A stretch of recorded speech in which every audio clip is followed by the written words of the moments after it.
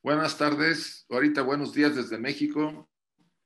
Buenas tardes, noches. En, bueno, son como las seis y media en España. En Latinoamérica hay diferentes horarios.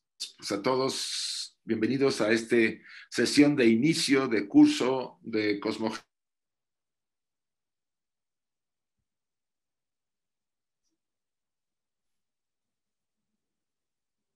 Tener ya se los había comentado, un estudio previo. Se congela la imagen, Isaac. Y este, bueno, no importa. Al final están oyendo mi voz, ¿no? supongo. Vale. Eh, vamos a tener un estudio previo que iniciamos el día de hoy y que probablemente dure entre dos o tres sesiones, o sea, este más dos sesiones más. ¿Qué vamos a repasar? Pues todos han recibido por lo menos así se ha hecho, tres obras que vamos a, continuación, les voy a mostrar a continuación para que todos tengan eh, más o menos la idea. Primero van a, eh, tienen la, la, doctrina secreta en su estudio y aplicación práctica de la señora Joy Mills y de la señora Virginia Hanson. Segunda, Reminiscencias de H. Blavatsky y la doctrina secreta de Constancia Weinmeister. Tercera, Cómo estudiar teosofía de Robert Bowen. Hay un complemento, La voz del silencio para las meditaciones semanales diarias, semanales, que la recomienda Joe Mills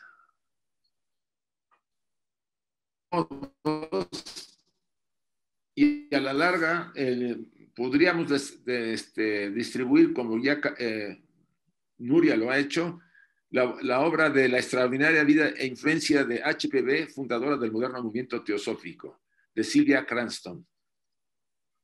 Esto es la base.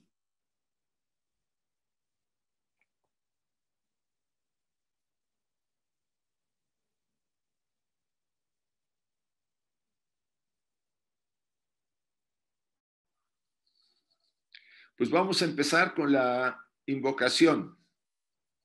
Perdón. No tengo aquí la invocación, pero la, vamos a empezar. La,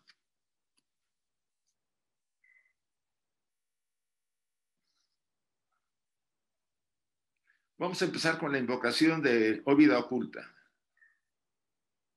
Les pido a todos que cierren unos, unos, un minuto sus ojos. Y mantengan la atención en la respiración por unos segundos.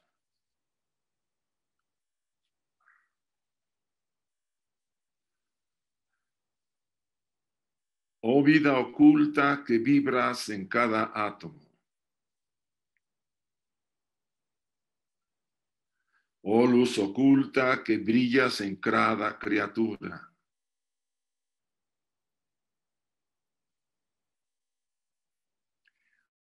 Oh amor oculto que todo lo abarcas en la unidad.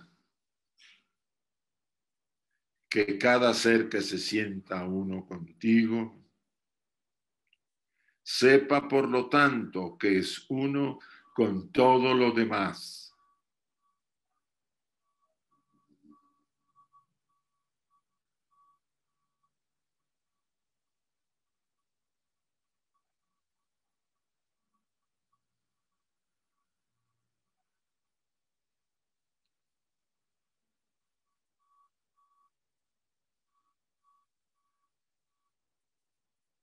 Gracias y aquí, así sea, perdón.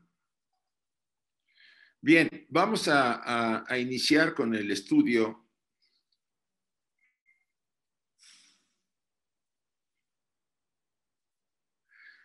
¿Cómo estudiamos teosofía? Dice Joe Mills, que ven ustedes ahí en una de sus fotografías, todavía estaba bastante joven.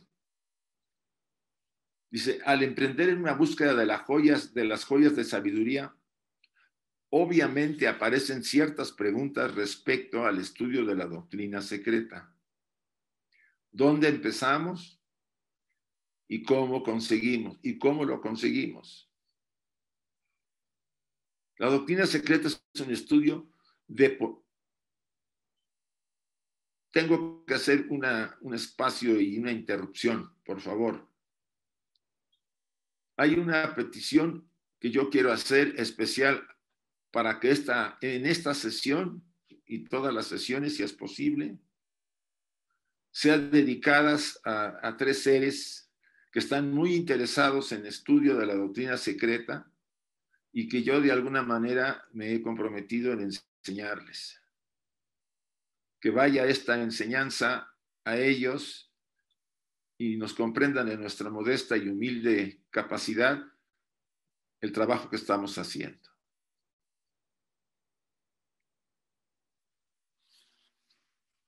La doctrina secreta es un estudio de por vida. Sus páginas no son con el fin de la comprensión, sino de canales que conducen a los océanos de la verdad universal, cuyos alcances se extienden hacia los lejanos horizontes de sabiduría.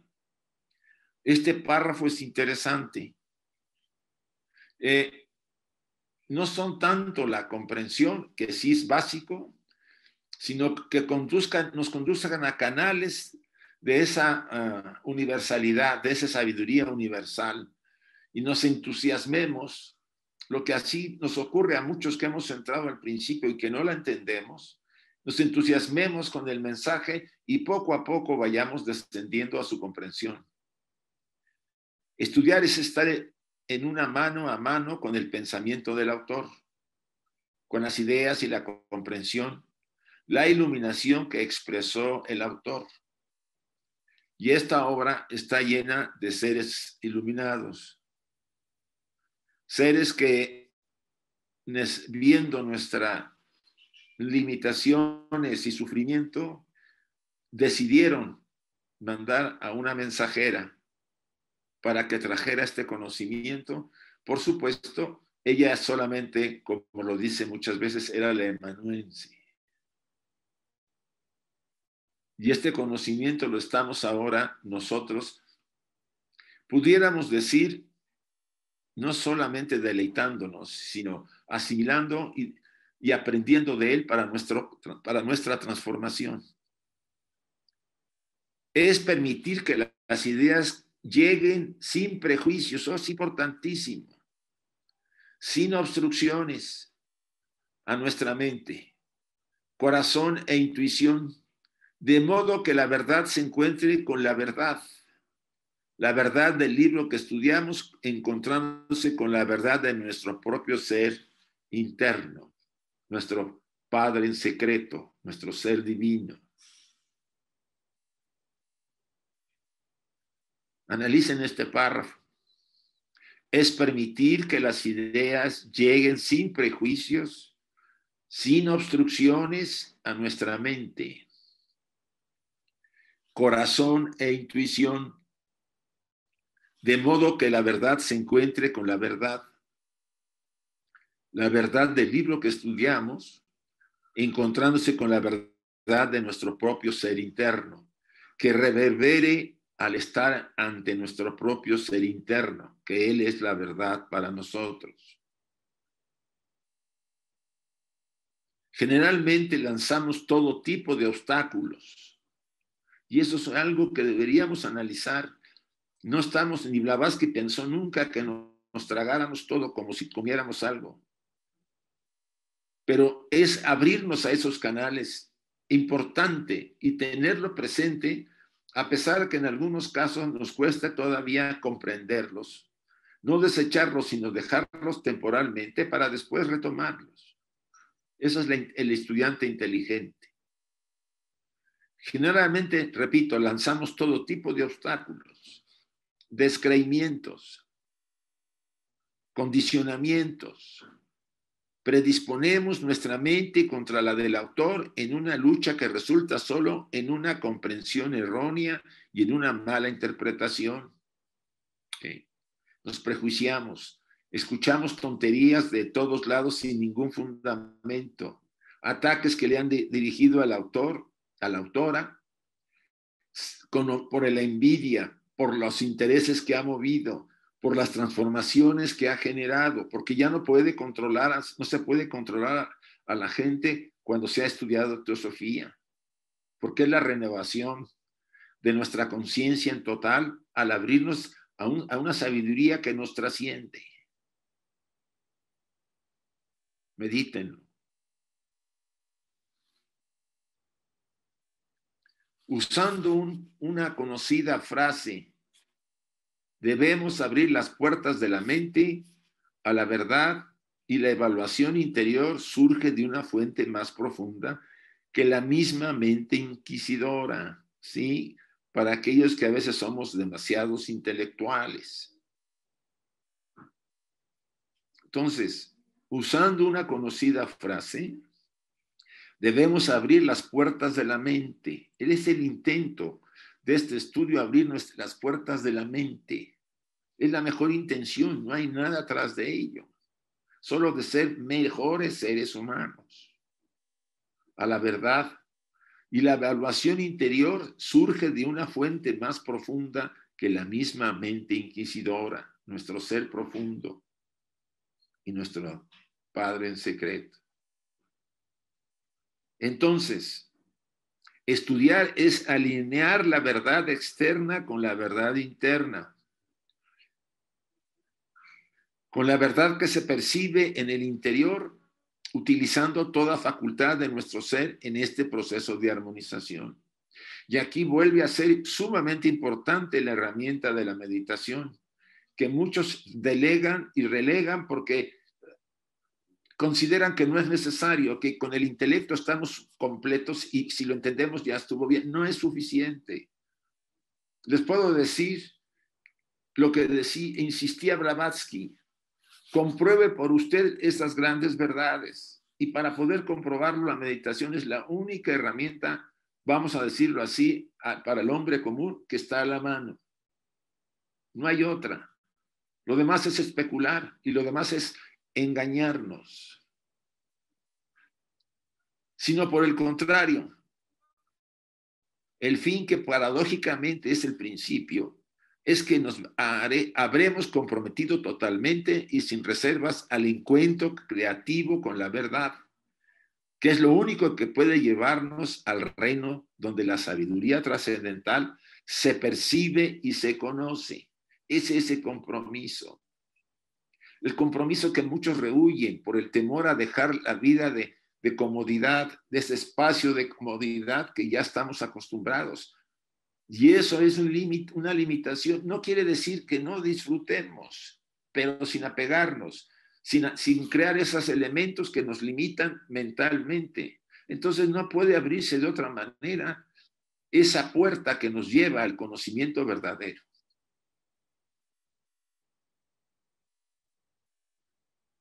¿Qué es la doctrina secreta? Esta debe ser nuestra primera pregunta si vamos a hallar, en ella estas sugerencias, pistas y guías que nos ayudarán en, en nuestra búsqueda de la verdad. O sea, ¿qué es la doctrina secreta para ustedes? ¿Un libro raro que medio lo entiendo o no entiendo? ¿Un libro que me puede inspirar y llevar a lo que busco? ¿Un libro que me atrae? ¿Que tiene conocimientos inmensos cada uno puede tener una clave, una respuesta a eso. HP misma indicó que las páginas escritas contienen solo un pequeño fragmento de la doctrina esotérica, conocida por los miembros de la más elevada, más elevados de la jerarquía oculta. Estamos ante un libro sagrado, dado por esa jerarquía. Y lo tomamos a veces muy superficial porque no entendemos muchas cosas y creemos que eso no es para nosotros. Lamento decirles que no es así. Si hacemos un esfuerzo, si intentamos ir poco a poco, como es este curso, que creo que ha inspirado y está inspirando a mucha gente, puede ayudar a ir abriendo esa puerta, ese, esa obra de magnífica sabiduría. Como ella lo señaló, contiene todo lo que se pueda dar al mundo en este siglo. Y luego agrega respecto a la doctrina secreta arcaica, que pasarán siglos antes que se den mucho más. Sí, ella, ella también mencionó que para este siglo XXI parecería que iba a haber más comprensión. Y así estamos en este trabajo haciéndolo todos los que estamos aquí, incluso otros que trabajan en otros cursos en la sociedad teosófica y otras líneas de la sociedad teosófica, están todos con esa idea. Además, deberíamos también recordar que HPV nos advirtió que su trabajo que tenía muchos velos. Ahí es donde yo les he insistido cuando estudiamos antropogénesis. Que de paso les vuelvo a repetir, lo volveremos a ver cuando terminamos cosmogénesis, porque esa obra habrá que darle por lo menos otro repaso. Velos que a menudo esconden tanto como desvelan. O sea, varias veces la señora Blavatsky decía, no puedo decir más esto no me es permitido. Hasta aquí puedo llegar.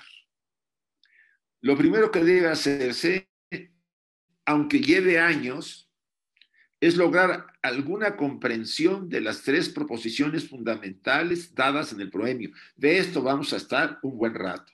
Ahorita está estudiándose o va estudiándose o ya se estudió con Gaspar y eso ayuda a los que sigan ahí y quieran entrar acá ampliar el tema porque le vamos a dedicar tiempo y sobre todo les voy a mandar ejercicios para que complementen algunas ideas de las tres proposiciones fundamentales.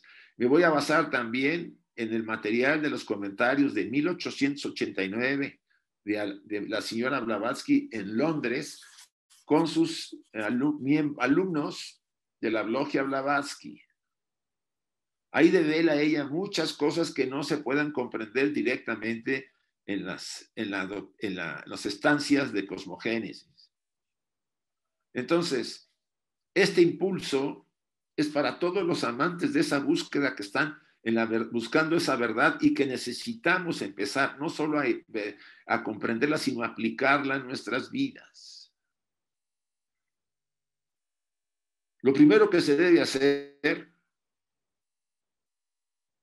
aunque lleve años, es lograr alguna comprensión. Esto ya lo dije, ¿verdad? Ah, si, imaginamos que vamos a obtener una idea satisfactoria de la construcción del universo a partir de la, la doctrina secreta, solo obtendremos confusión de su estudio. Su propósito, y esto es importante, no es dar una respuesta final sobre la existencia, sino conducir a la verdad. Esto nos tiene que inspirar es la búsqueda de la conducción a la verdad, es lo que pretende en este comentario Madame Blavatsky.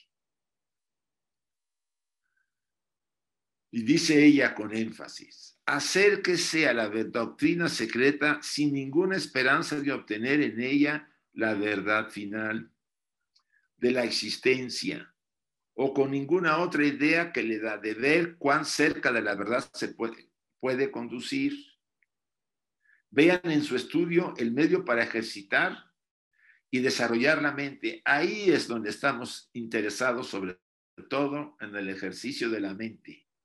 Nunca antes dado por otros estudios. Para esto, además de la meditación que les hemos ya mandado de la voz del silencio, quizá los que no han meditado empiecen a reflexionar, lean el, pasaje que les mandamos y, traten de penetrar el significado que ella quiso transmitir.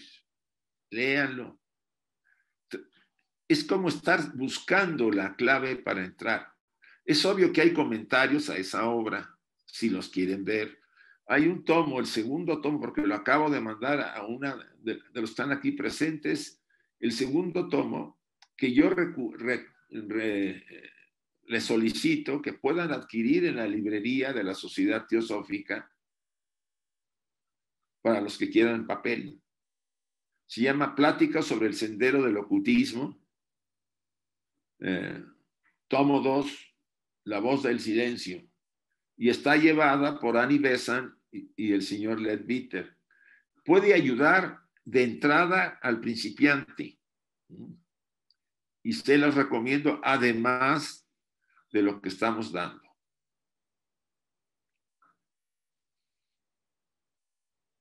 ya vamos a las fuentes de la doctrina. Bueno, son las 12. Eh, podría yo seguir, pero quiero abrir un momento para ver los que quieran, eh, vamos a decirlo así, hacer algún comentario de lo que se está diciendo. Y este,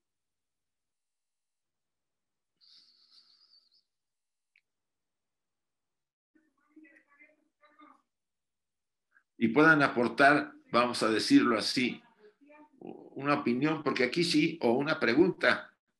Por favor, ya está abierto Nuria, se abrió para que los que quieran abrir sus micrófonos lo puedan hacer. Ahorita permítanme. Ya. Antes que nada, buenos días y agradecerle infinitamente todo, todo lo que nos están brindando. Yo particularmente eh, no tengo más que agradecimiento. Muchas gracias, eh, Emilce con C. Te reconocí por la voz. A ver, José, que tienes la mano levantada. Sí, eh, yo todavía no tengo ni idea de la doctrina secreta. He oído muchas conferencias sobre ella en su lectura. Pero Isaac, está saliendo todo el mundo porque tienen las, tienen, tienen las cámaras encendidas. O sea, esto, mira, yo de verdad. No, no, si esto ya está así. O sea, Yo las veo todas cerradas. Yo tengo la vía abierta, pero es que ahora no me acuerdo cómo se cierra lo que para que no se vea la foto, nada más que la foto. No, se puede abrir la cámara, por favor. Por favor, o te la pido yo, te la pago, Pilar. No, no, la cámara. La foto que se ve a la derecha, bueno, el vídeo que se está viendo en la pantalla no estamos viendo nosotros. Ay, es que quería hay que...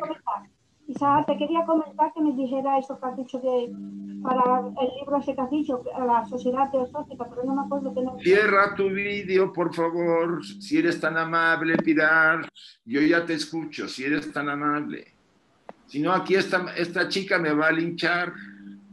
Eh, para que no salga ninguna foto excepto la tuya, Isaac, eh, tendría que hacer un anclaje en tu imagen. Entonces, por más, no en vista, no solo vista del hablante, sino Emilce, Emilce, la, la, foto del anclaje lo he hecho, pero resulta de que además del anclaje eh, hay gente que habla a la vez.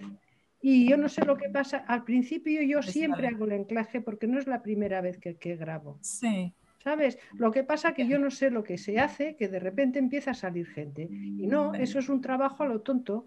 se está grabando todo, ¿eh? después lo podemos limpiar, lo ofrecemos para limpiarlo acá en, Martín. Muy bien.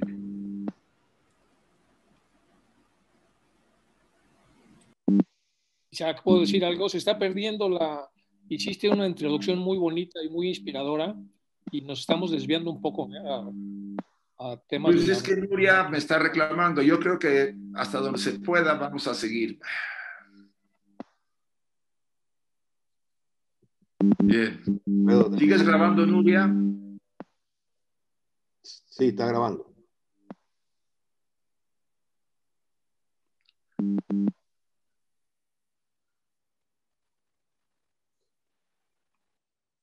Bueno, voy a proseguir porque veo que no hay manera hacerlo abiertamente sin tener problemas con algunos que siguen insistiendo en tener la cámara.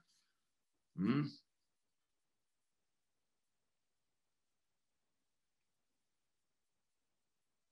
la fuente de la doctrina.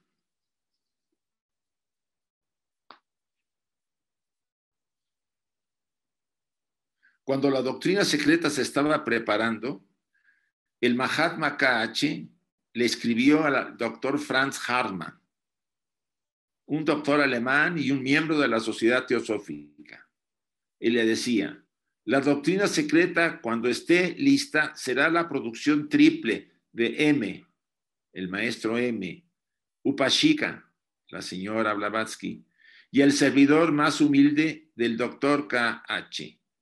Cartas de los miembros de sabiduría, segunda serie de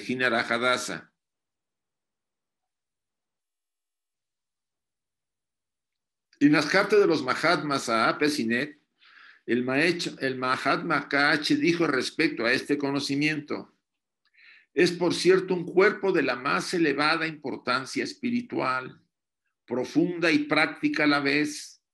Para todo el mundo no se les dan estas verdades a ustedes como un mero agregado a la masa confusa de teorías o especulaciones en el mundo de la ciencia, sino por su valor práctico en el bien de la humanidad. Aquí los maestros lo que han buscado siempre es ese valor práctico para la humanidad, para el bien de la humanidad. No están buscando llenar de información como un elemento más en la ciencia, aunque hay mucha ciencia en este, en, la literatura teosófica, en la literatura oculta. Y, son capaces los estudiantes serios y, y desarrollados a develar lo que hay ahí. Si ella lo mismo lo dijo, si la intuición es capaz, pueden encontrarlo. Podemos considerar la doctrina secreta como un trabajo de referencia básico que se pueda consultar a menudo. Sin embargo, para dar a conocerlo y apreciarlo totalmente, es indispensable, en primer lugar,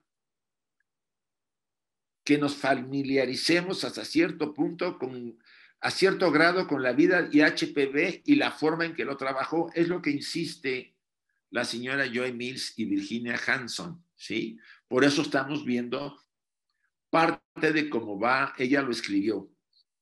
Al comienzo de cualquier estudio, individual o grupal, sería conveniente prestar alguna atención a esto. Familiarizarnos con parte del material preferido referido a HPV. Y aquí vamos a ver algo de lo que recomienda la señora Joy Mills sobre las reminiscencias de HPV Blavatsky y la doctrina secreta. Ustedes tienen acá en la imagen una foto que encontré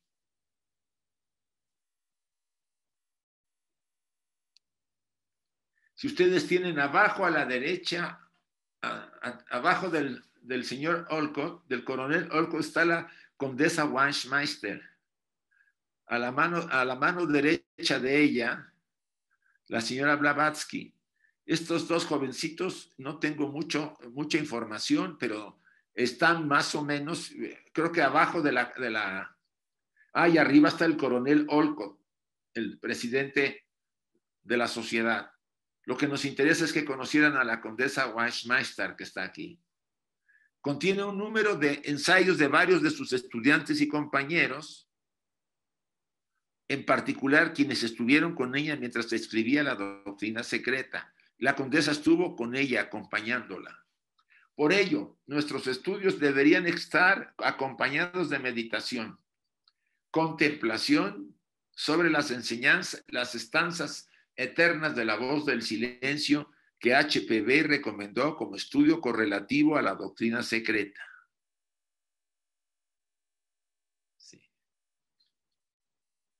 Solo con tal preparación podemos entrar interiormente en las profundidades de la doctrina. Aquí yo siento insistí, y no es mía, la lo está mencionando. Yo no puedo leer desde un punto de vista, lo puedo leer, pero mi vida tiene que tener un giro ante una obra en que requiere que haya una vibración particular para poder penetrar en ella. Si yo sigo mi vida, yo digo que sea una vida mala, pero haciendo las cosas que hacemos, las tonterías que se nos ocurre, y después me pongo a leer la doctrina, pues va a ser más difícil que comprenda. La, la señora Blavatsky insiste que hay que llevar una vida hasta donde se pueda ética y equilibrada. No estamos hablando ni de santos ni de santas, sino personas que están, un estudiante que está buscando ser mejor ser humano, más noble, y entonces se embarca en esta obra. Solo con tal preparación podemos entrar interiormente en las profundidades de la doctrina. No es que la mente se deje de, de lado, es importante, sino que la mente se ha convertido en el espejo puro que refleja al ser superior y percibe los principios universales de la realidad.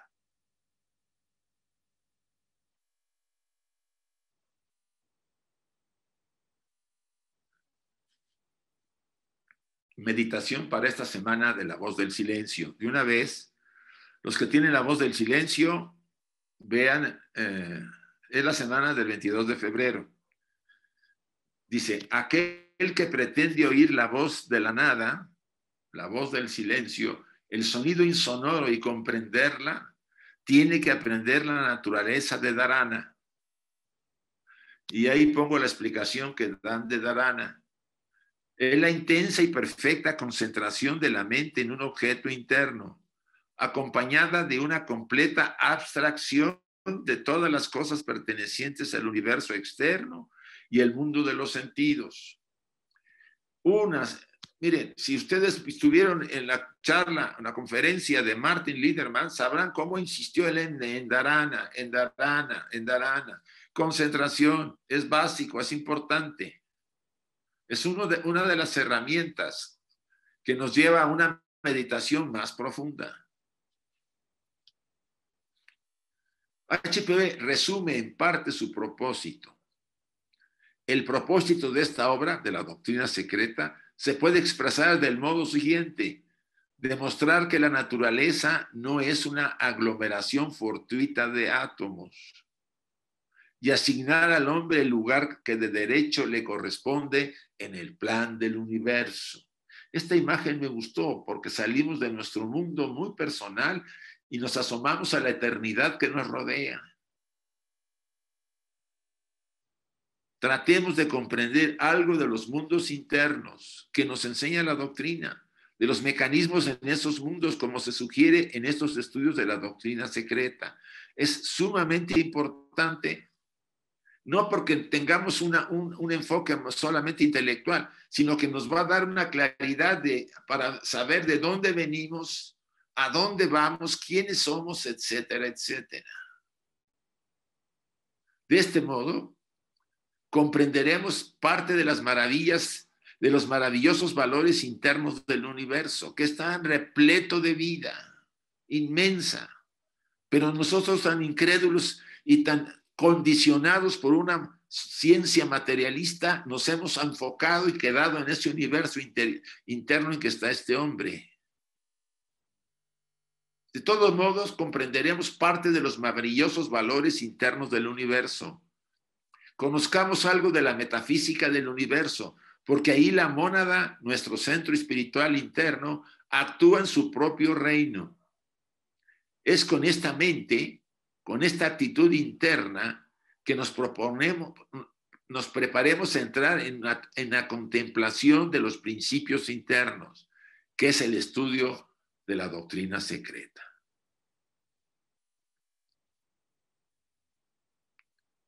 Y hasta aquí quiero llegar antes de que volvamos a abrir para abrir a más preguntas y aportaciones. Cuatro características de la doctrina secreta, nos dice Joy Mills. Hay cuatro cosas que el estudiante puede descubrir cómo, cómo avanzan en sus estudios. Cuando perdón, hay cuatro cosas que los estudiantes pueden descubrir cuando avanzan en sus estudios, cuando vamos dando pasos en nuestros estudios. Primero, la doctrina secreta indica que por medio de la comparación de las cosmogonías de los antiguos se puede lograr una percepción de las verdades universales. Por eso Madame Blavatsky utiliza la técnica que en el centro está la enseñanza oculta y va agregando a los lados todas las tradiciones místicas de, la, de la, antigüedad y hasta cierto punto de modernas. Habla también de, los gnósticos, de los cabalistas, de los rosacruces, o más bien de los herméticos que tienen que ver ahí, eh, de las tradiciones egipcias y mistéricas, de la Grecia antigua, y se va retro hacia el pasado, en base a todas las, todas las grandes obras que nos han heredado y hacia el futuro nos habla de la alquimia, etcétera, etcétera, y de la transformación del ser humano. ¿Qué pretende? Ella pretende que el conocimiento que va en la niña central se enriquezca con lo que alrededor se le va dando. Pero para que ese conocimiento que va alrededor, cábala, alquimia, simbología que ahora se estudia con Carmen y también el, Bhagavad Gita con Nuria, o sea, todo eso va dando una visión al estudiante de que la enseñanza oculta es confirmada por todos, porque fue la única, la gran verdad que fue dada a la humanidad en el principio y que todas las demás tradiciones repiten a su manera, incluyendo las religiones. En otras palabras, nos hemos centrado en la enseñanza oculta porque no podríamos entrar a los otros elementos, dada la, la complejidad de algunos y el tiempo, y lo que requeriría ser estudiada cada uno. Lo vimos cuando Carmen nos dio Cábala en el monográfico de pasado. Segundo, da una pista con la que se puede descifrar la verdad histórica racial de la humanidad. Eso es lo que vimos en Antropogénesis, las claves. Es posible que en la segunda versión que hagamos de Antropogénesis nos quede más claro a todos todo ese conocimiento que le hemos dado un repaso y que nos ha dejado, yo siento una visión más completa, más importante, pues de las, razas lemures y anteriores, las hiperbóreas, lemures, atlantes y ahorita en la, en la quinta raza. Y pues, probablemente desde la primera, desde la, la raza que fueron emanaciones de los pitris lunares. Nos da una visión porque Blavatsky dice, todo eso está presente ahora, existe en nosotros ahora. Todas esas manifestaciones de razas previas hasta llegar actualmente están ahora en nosotros. Tercero, levanta el velo de la alegoría y el símbolo y desvela la belleza de la verdad en todas sus manifestaciones. Y esto se están encargando estas dos chicas que lo están haciendo magnífico y que les motivamos a que asistan para ir complementando por varias áreas este trabajo. Cuarto, la doctrina secreta les presenta al intelecto despierto, a la intuición y a la percepción espiritual desarrollada los secretos científicos del universo para nuestra total comprensión. Pero hay que tener una intuición mínimo. La percepción espiritual desarrollada ya da un paso más adelante. La intuición está más cercana, podríamos decirlo así, ¿sí?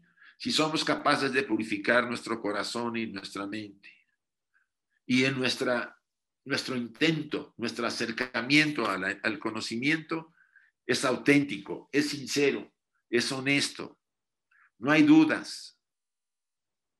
Y está marcado por una sinceridad y no hay intenciones. Ya, es que yo quiero conseguir poderes, ah, es que todo eso háganlo a un lado. Es, quizás sea parte del proceso.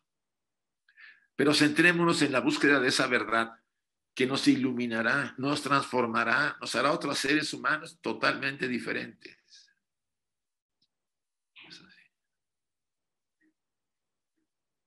En una de sus obras, de sus otras visitas a Europa, la condesa Weinmeister se encontró con el, el maestro Moria y H.P. Blavatsky, mencionan este hecho en una carta dirigida a, N.D. Kandavala, Kandavala, fechada el 12 de julio del 88 por Madame Blavatsky. Dice, la condesa Weinmeister se unió a la sociedad teosófica porque reconoció en el retrato de mi maestro a su maestro viviente, quien la salvó en varias ocasiones a quien ella vio en su cuerpo físico.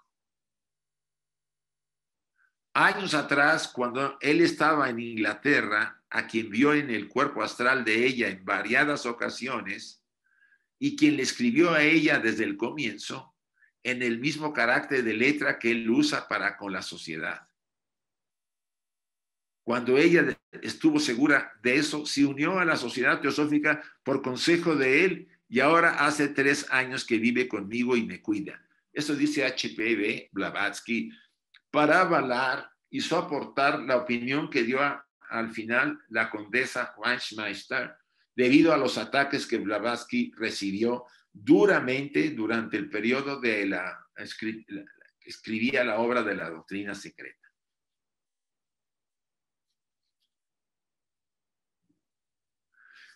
La condesa Wanschmeister vivió y trabajó en estrecha intimidad con la señora Blavatsky, ayudándola en su labor y siendo testigos de muchos acontecimientos que tuvieron lugar alrededor de HPV. En sus cartas a H.P. Blavatsky hace mención a la labor de la condesa, perdón, en sus cartas H.P. Blavatsky hace mención a la labor de la condesa Wanschmeister en beneficio de la sociedad teosófica y de las instrucciones que recibió con tal fin. Dice Blavatsky, déjeme decirle que la condesa fue hacia Múnich, o Múnich, como disparada para tratar de salvar a Hugh de su debilidad y a la sociedad de desmoronarse. Estuvo toda la noche en un trance, saliendo y entrando de su cuerpo. Vio al maestro y lo sintió toda la noche. Ella es una gran clarividente.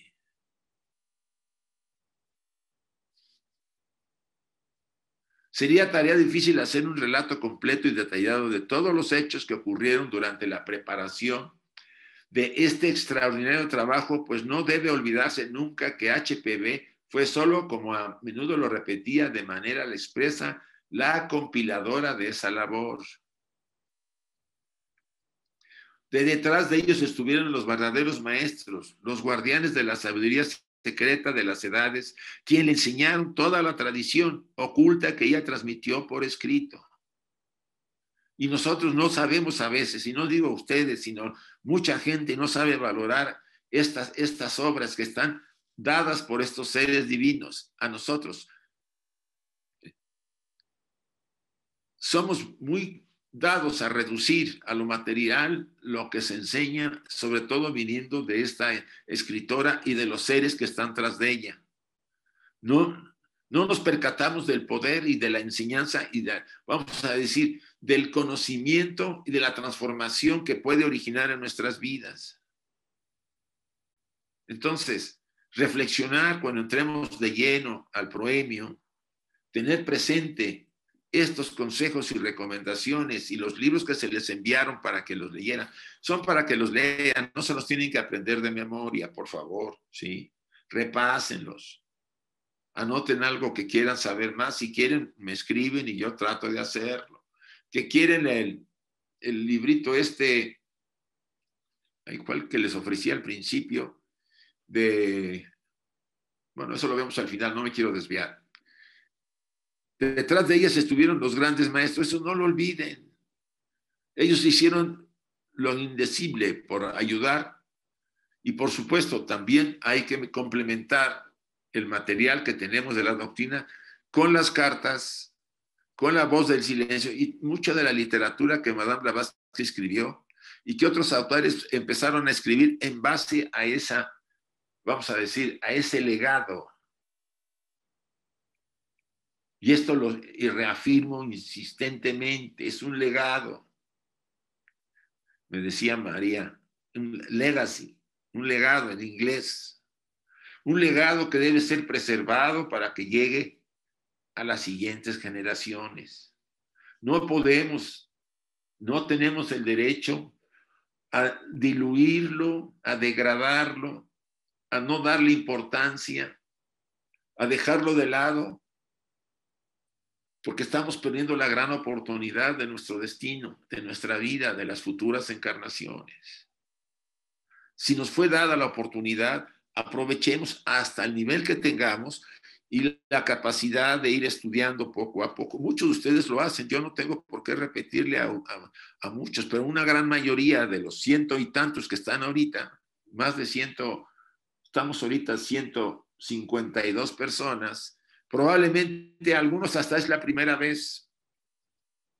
Pues para esos que nunca han oído y que les ha interesado entrar a estos estudios, que en esta parte, por supuesto, son más accesibles, les estamos preparando un cursito sumamente sencillo, simple, sobre enseñanza teosófica entre Enrique y yo. Ya lo metí, Enrique no estaba metido, pero ya lo metí para que ayude a la comprensión de estas enseñanzas o por lo menos de las columnas básicas de la enseñanza teosófica. Ya estamos por hacer ese trabajo y cuando se esté preparado, pues se les va a comunicar. Su mérito consistió en parte en estar capacitada para asimilar el, trascendente conocimiento que fue, impartido, que, que fue impartido al mundo. Es una de las grandes cosas que ella desarrolló. En su, mensajera, en su mensajera merecedora de sus maestros y en parte en su maravillosa capacidad de verter el abstruso pensamiento metafísico oriental en una forma inteligible a la mente occidental, verificando y comparando la sabiduría oriental con la ciencia occidental. Mucho crédito se le es debido también por su gran coraje moral. Eso es donde está, sobre todo, que era lo que quería yo también que lo vieran. Al exponer al mundo pensamientos y teorías que en desacuerdo total con la ciencia materialista de la época presente del siglo XIX. Y todavía de este siglo alguna, ya es mucho menos porque hay científicos que están empezando a ver mucho de esta enseñanza. Muchos, muchos comprenderán con dificultad que los muy abusados fenómenos que tuvieron una parte importante en la compilación de la doctrina secreta que HPV recibió muy a menudo los así llamados mensajes precipitados, conteniendo material que más tarde formó parte de la obra. A la mano derecha está una de las cartas que aparecen y que se pueden ver, es del maestro KH. Por, ustedes distinguirán esas líneas sobre la T y el tipo de letra. Para los interesados en este material de las cartas de los Mahatmas, los originales que recibió Sinet como respuestas a las preguntas que él hizo, se encuentran en, la biblioteca del Museo Británico y las pueden ir a ver para que si hay escepticismo se les desaparezca. Están conservadas en una urna y pueden pedir permiso. Creo que aún se debe pedir permiso a la sociedad o solamente que vayan directo y se los den ahí. A medida que el mundo gane mayor comprensión de las leyes ocultas, se irán comprendiendo muchos extraños acontecimientos y la historia de la sociedad teosófica será mirada bajo otra luz que bajo la actual hasta el presente ha sido vista. Cierto, a la sociedad teosófica se le ve mejor, yo siento, ahora que hace 145 años, ¿no? Que se fundó la sociedad. Pero todavía se le trata de, de disminuir, no de perseguir, porque ya no no nos van a llevar al cadalso desde el punto de vista material, pero nos llevan al cadalso social y nos obstaculizan hasta donde pueden.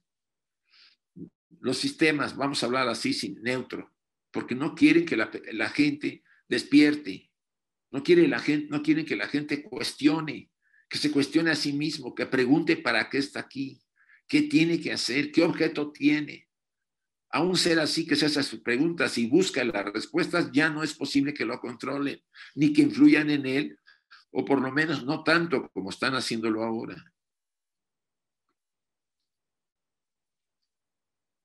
Dice ella, la condesa, para mí nada es trivial, nada es insignificante en la personalidad, en los hábitos y en el medio ambiente de HPV y deseo transmitir al lector en lo posible el conocimiento más completo que yo poseo de las dificultades y perturbaciones que la acosaron durante el progreso de su trabajo. Ella fue testigo de primera, de primera mano de todo lo que se le vino encima, de las traiciones de los amigos que ella había tendido la mano, y amigos cercanos, de las calumnias que les hicieron después para poder desprestigiar la enseñanza.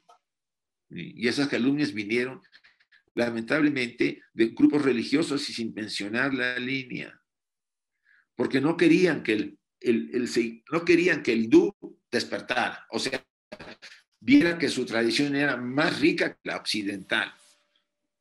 No querían que las personas se sometieran, o más bien que se sometieran y que no viniera alguien a, a, lebrestar el, ahora sí que el gallinero, vamos a hablarlo así. En muchas palabras. Y los sistemas, pues no querían que la gente tuviera, pues se cuestionara a sí mismo, se preguntara, ¿qué mundo queremos? Ella hizo todo eso y así le hemos pagado.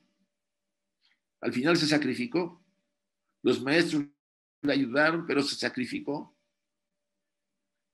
Por lo menos podemos hacer un intento de redimirnos ante ella estudiando seriamente esta obra. Y por supuesto, es nuestra responsabilidad. Yo los invito, hermanos y hermanas, no, a que, no solamente a que sigamos en este estudio, a que profundicemos y que lo pongamos en práctica. Y es una de las cosas que estoy reflexionando, además de la meditación, para poner algunos ejercicios y que los practiquen, vamos a decir, de semana a semana o de cada 15 días, porque hay algunos que requieren más tiempo. la mala salud, la vida errante, el ambiente impropio para tal labor, la carencia de materiales, la, la defección de falsos amigos, ahí está el tema. Los ataques de enemigos fueron obstáculos que dificultaron y en ocasiones obstruyeron su trabajo. Pero la cooperación de manos voluntariosas, el amor y cuidado de devotos adherentes, sobre todo el sostén y la dirección de sus amados y reverenciados maestros, coadyuvó a que la fuera posible completar su trabajo. Ella estaba muy enferma y el maestro KH le ofreció dos opciones, desencarnar y dejar de sufrir, o que la, entre comillas, remendara y poder seguir para terminar la doctrina oculta o la doctrina secreta, y de plano se siguió y, también escribió La voz del silencio, esa no estaba en el plan, no lo sé. No se había dicho ahí. Entonces, alguien que acepta ese sacrificio porque estaba verdaderamente enferma. Y que se dedica de día y de noche, y la condesa, de ella vamos a hablar las sesiones siguientes, porque creo que vayamos analizando su, qué visión tuvo ella de, de, de Madame Blavatsky, cómo fue, qué fenómenos se produjeron, para que vean la riqueza de la obra y se convenzan y no, lo, no la consideremos una obra más de entre toda la literatura, no solamente teosófica o oculta que existe. Me gustaría terminar aquí y me gustaría terminar rindiéndole un homenaje a Madame Blavatsky, de paso a la condesa Weinmeister, y a todos los estudiantes serios que han, que han intentado dar ese paso. Los hay, son pocos, pero los hay. O a lo mejor hay muchos, muchos que están cada vez más en el mundo, porque este es el siglo en que se va a desarrollar, que va a llegar a su cúspide, aunque haya fuerzas que van a querer que no se presente. Va a haber una gran, una, un, gran, vamos a decir, un gran renacimiento de la enseñanza teosófica y para eso os invito a que reflexionéis y unéis a este movimiento. Eso va a ayudar. Estamos con la luz y queremos que ella se imponga. Yo sé que esto a, muchos de nosotros nos puede perjudicar hablar así públicamente porque hay seres que no quieren que hablemos así, pero nunca, nunca ha habido un cambio si no se toman riesgos y no se atreve a hollar este sendero. Gracias a todos. Voy a abrir ahora sí para comentarios finales, aportaciones y pues discúlpenos por la cuestión de, la, de las imágenes a veces no se puede controlar. Yo no estoy en un lugar totalmente con el Wi-Fi eh, o Wi-Fi, como también se le dice, eh, en buenas condiciones, aunque no falló todo el tiempo. No falló, digo, estoy sorprendido. Yo creo que el cielo nos ayudó. Agradezco a los que nos ayudaron, porque si no, se estaba cortando para mí. Ustedes podían seguir, pero si yo iba a dar la charla, sí va a estar cortando mi intervención. Agradezco a aquellos seres, quienes fueran. Y bien, vamos a abrir a estos 151 asistentes, que parece que se mantiene esa cantidad. Me nos da mucho gusto.